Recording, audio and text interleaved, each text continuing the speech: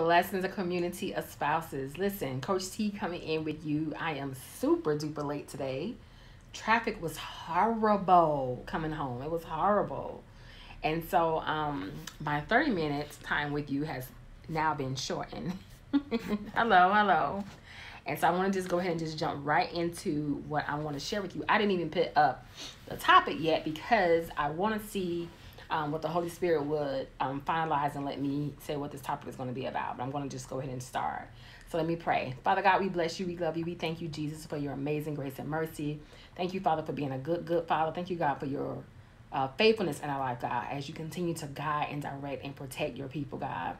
I pray now, asking your Son Jesus' name, God, that you would touch the homes, the marriages, and families, God. I pray, Lord, for your spirit, God, to rush through in and out homes, God, for your presence to rest upon homes and marriages, God, and families.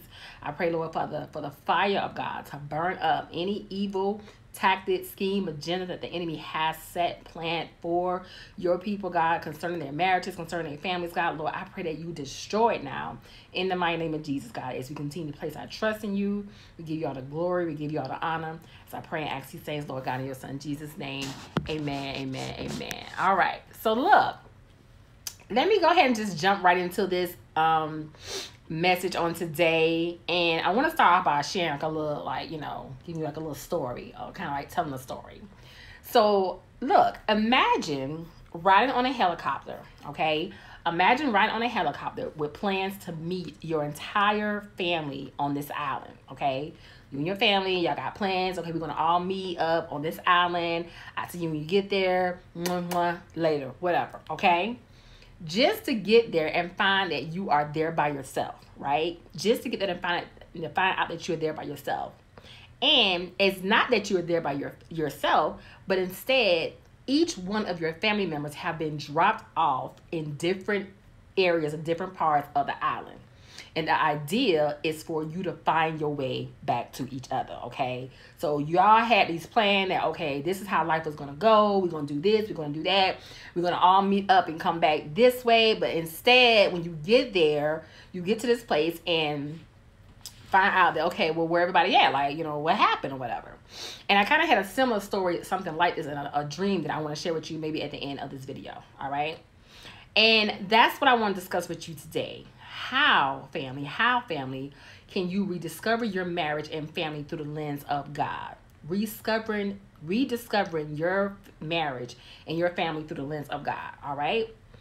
So about 3:13 exactly this morning, God woke me up and I heard myself sometimes when I wake up or whatever in the middle of the night, and I hadn't did this in a long time, so this is why I know um, God is on this.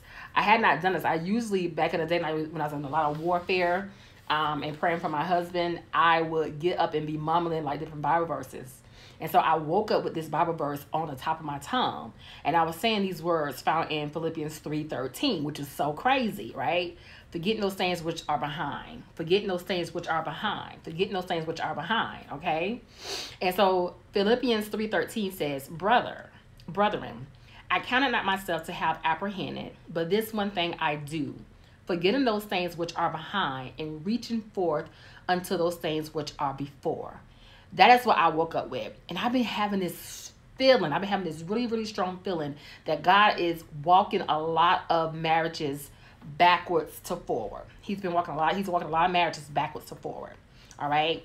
I feel like in this next season, in this next season of your life, in your marriage, it's not about your next chapter. You know, a lot of times it's like, okay, what's next? You know, you know, you go into your next chapter, you go into your next thing or whatever. No, this is not about your next chapter. This is about your new chapter. I feel like God is saying it is about this is about getting not just a do over this time, but it's about starting a brand new this time. God is getting ready not to just give you a do over, God is giving you something brand new in this season, okay? But the only thing about it is you have to, in order to receive this, you have to be willing to do it his way, okay? You're going to have to be able to do it his way and allow him in to do it with you this time, okay? Don't get me wrong. Don't get me wrong. It can be scary. Anything new can be scary, all right? And so um just you know start a new job moving to a new area you know um, start a new family. It can it can be scary. It can be scary. But i feel like god is saying this is something i'm ready to do for you. It's time for that shift to take place. You've been in this you've been tearing on this on this lane long enough. I need to do a shift. I need to do a shift. And so i would call this journey trust right? I would call this journey trust and it does take a whole lot of faith to trust God in this way, all right? Anytime you start something new, you're not aware what, about what's getting ready to take place, and that can be scary. Um, but God is saying, I want to show you something different this time, okay? I want to show you something different this time. So, I want to give you these quick little um, points because, like I said, our time had to be shortened because of the traffic, and I have a session at seven. So I do apologize, um, but I want to still be able to share um, with you these points. How do you rediscover your marriage and your family with God? How do you rediscover your your marriage and your family with the lenses of God, with God allowing, with God directing you and helping you? Okay, and I have four points. I want to share those with you. Point number one: first, you need to surrender. First, you need to surrender. You allow God to be God in your situation and trust Him to guide you on your path. Um, the Bible verse in Psalms 23 and 4 says, Yea, though I walk through the valley of the shadow of death, I will fear, fear no evil. For thou art with me, thy rod and thy staff comfort me. Listen, anytime God is asking you to surrender yourself over to Him and trust Him it can be scary. it literally feels like you are walking down a valley, a shadow of death. Okay. It can literally feel like, oh my God, I'm not going to be able to do this. You can literally come into a place where you feel like, I'm not going to be able to do this, right? I'm not going to be able to do that. But God is saying in this season, on this new path that I'm getting ready to take you down, you're going to have to surrender. You're going to have to surrender. You're going to have to take my hand through this process, even though you may not be able to see me, but you have to know that I am here with you and I want to walk you through this path. I want to walk you through this valley, all right? God is saying you're going to have to surrender in this season, all right? Point two. You are going to have to accept what is and focus on what God said is coming. Okay? Focus on what is, accept. You have to accept and focus on what is and focus more on what God said is coming. Basically, you have to accept your reality, okay? You have to accept where things are right now. And a lot of people, I've, I've, I've come into a lot of contact with couples. I come in a lot of contact with my wives. Um, a lot of people are struggling in this area. Heck, sometimes it's even hard for Coach T, right? Um, just coming to a place of accepting like this is my reality. This is where i'm at right now but this is only a temporary season. This is where i'm at right now but god told me that i'm going there all right? And so because god told me that i'm going there i'm not going to focus on what i'm where i'm at right now even though i'm accepting it. I'm going to focus on going there okay? It's almost like a person this is probably like a bad bad illustration.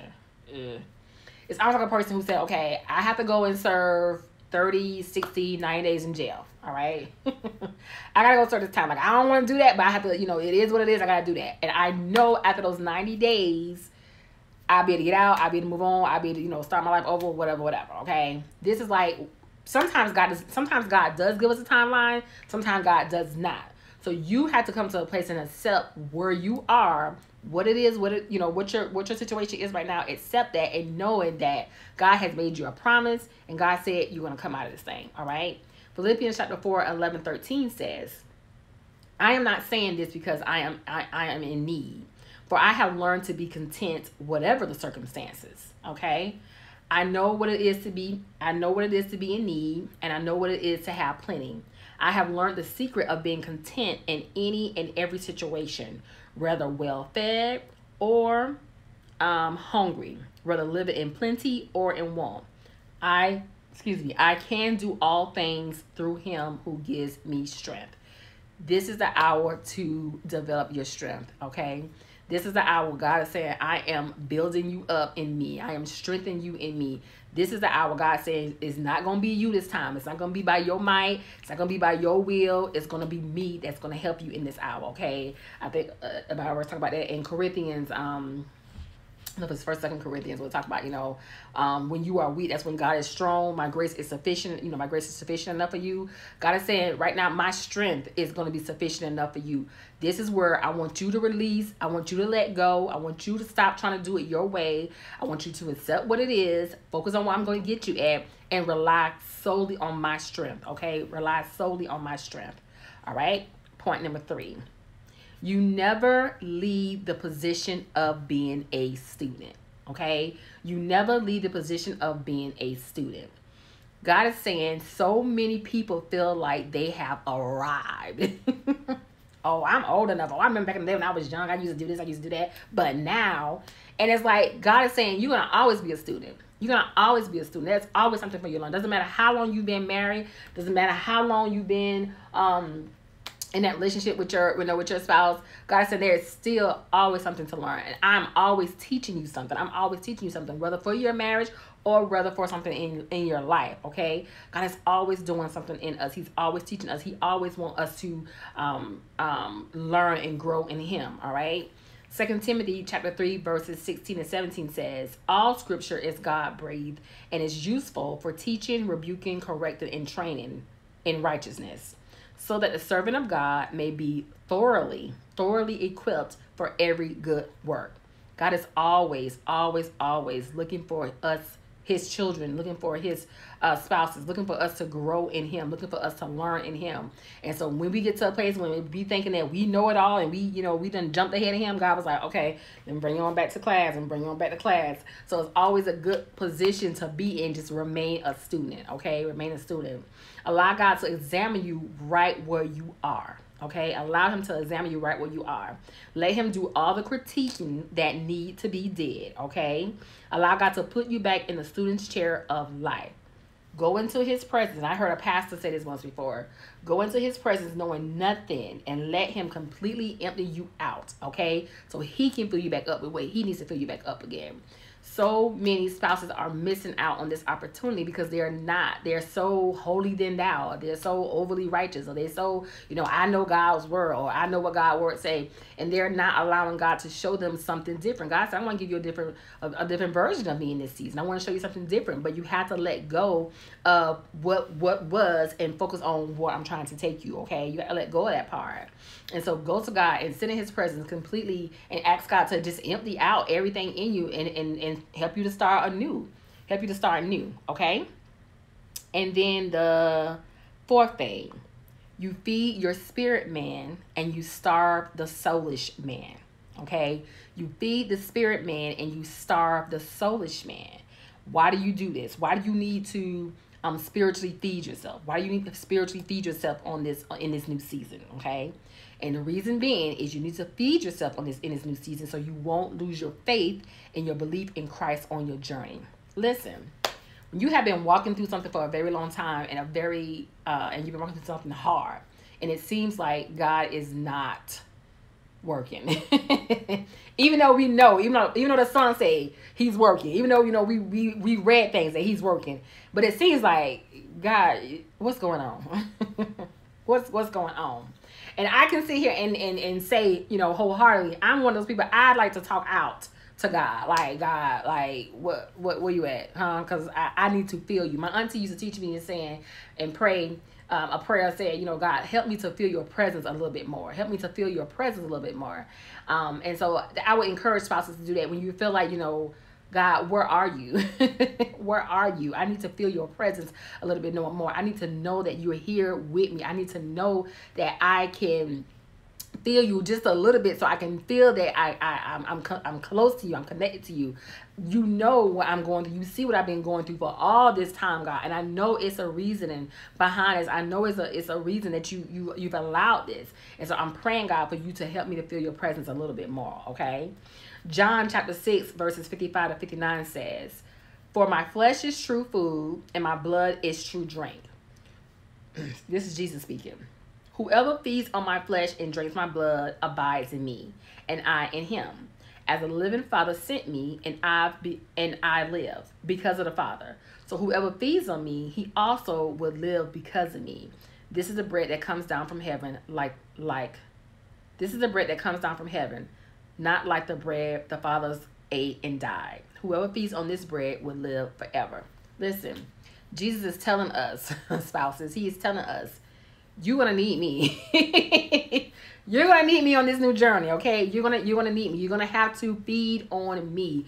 You're gonna have to lean on me. You're gonna have to trust in me. You're gonna have to abide in me. You're gonna have to study with me. You're gonna have to come and sit with me. You're gonna have to come and talk to me. You're gonna need me on this journey. The only way for you to deny the soul man of yourself, which is your real, your mind, your emotions, and in order for you to deny that person, you're going to have to cleave to your spirit man. You're going to have to allow the Holy Spirit to uh, uh, sit with you. And, and the Holy Spirit needs a, a, a, clean spot to come and sit with. You know, a lot of times I, I hear, you know, uh, couples, you know, all the time, you know, having different disagreements, um, having, you know, real fights, you know, this is, is him, is him, the blame game type of thing going on. Let me teach you something about the blame game. let me teach you, let me teach you a little, a little trick about the blame game. Okay. Um, the blame game is simply that a game. okay, it's a game. And the only way you win is by staying stuck in that place. That's the only way the game the game the game of blame works, okay? But someone someone has to make a decision to quit the game. Otherwise, the blame game continues to go on. Okay. So many spouses are pointing fingers and pointing fingers and pointing fingers and pointing fingers. You have to ask God to help you to release that. you have to ask God to help you to not focus on your spouse, but to focus on what you need to focus on and focus on what it is that you need to do. And you have to pray and trust God to help your spouse. You have to pray and trust God to help your spouse. Listen, let's just go back to this island. We're on this island, God about all y'all here together. He didn't bring y'all to this spot for no reason. When God came and got y'all, he said, Hey, I'm putting y'all all on helicopter. Y'all going on, y'all gonna be on different helicopters, but y'all gonna all come to on this island together. He didn't tell y'all what was going to happen when he brought y'all to this island. He didn't tell y'all what was going to take place once he brought you to this island. But God saying, I need y'all to find your way back to each other. I need y'all to find your way back to each other. I need y'all to reconnect and find your way back together because Y'all all here, y'all a family, y'all whole. I place you here. The Bible tells us in Matthew 19 and 6, what God has joined together, let not man separate. Listen, I just did a, a, a marriage, a beautiful, um, I'm sorry, a wedding. I just did a beautiful wedding recently. And um, one of the things I was most on, uh, honored in doing was the family saying ceremony. And it wasn't just the husband and wife that did the ceremony, um, did the sand, but it was the husband, the wife, and the children, and the children. And God was sand, this is this this is the order of the family. This is the order of the family. And God said, I, I sent y'all there on separate helicopters, but y'all all have gotten certain instructions, and y'all need to find your way back to y'all to each other. Y'all need to find your way back to each other. If I wanted y'all apart, if I wanted you separated, then I would have never sent you back there together. But I have you there together for a reason. And I know it seems frustrating. I know you're kicking and hollering, screaming. I know you're trying to figure out what's going on. Like, why is it happening like this? Why, why is it happening like this, God? But God said, I need you to find your way back to each other. And the only way, the only way you're going to be able to find your way back to your loved one, to your family member, to your husband, to your wife, to your children, the only way you're going to be able to do that is if you abide in Him. The only way you're going to be able to do that is if you allow Him. The only way you're going to be able to do that is if you trust God on this journey. It is a journey. And God is saying, I want to give you something new. I want to show you a new version. I want you to see your marriage and your family through a different lens. I want you to see your marriage and your family the way I see your marriage and your family, okay? And this is what God is speaking to His people in this hour. He's saying we are having to be as bold as lions in this hour. Come on, spouses. We have to be as bold as lions in this hour. The enemy is after God's people faith. Period. He's after God's people faith, especially the ones, especially the ones who have been going on this journey. It's been a longevity for them. It's been a longevity ride for them, okay?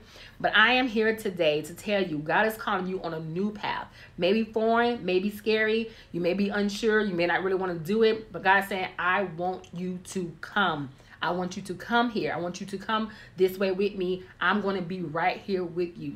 I want you to find yourself back to your family. I put y'all together for a specific reason. And because I put y'all together for a specific reason, you're going to find your way back to each other. I know it may not look like it right now.